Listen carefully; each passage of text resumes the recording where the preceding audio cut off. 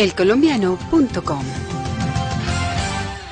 El robo representa el 70% de los delitos cometidos en Medellín.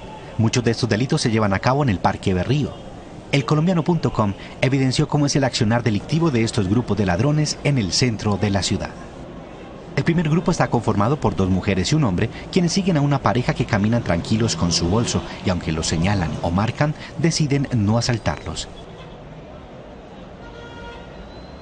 El segundo grupo está conformado por tres mujeres que engañan a una señora a quien la distraen para ganar tiempo y así tener la oportunidad de revisar su bolso.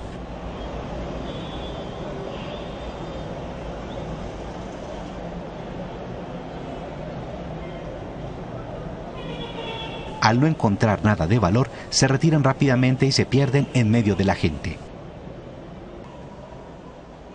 De igual forma, otro grupo de mujeres siguen a una transeúnte, quien tiene su morral en la espalda, pero al abrirlo, la mujer se percata de esto y las dos ladronas se voltean y simulan estar conversando.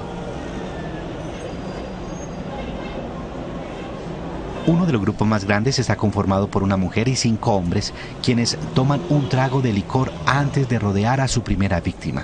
Su accionar es en el lugar más congestionado para evitar ser vistos por las autoridades.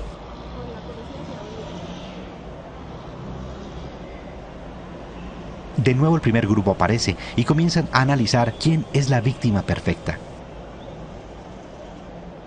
Después de un rato encuentran la oportunidad y utilizan el mismo modus operandi, no solo una, sino dos veces en el mismo lugar.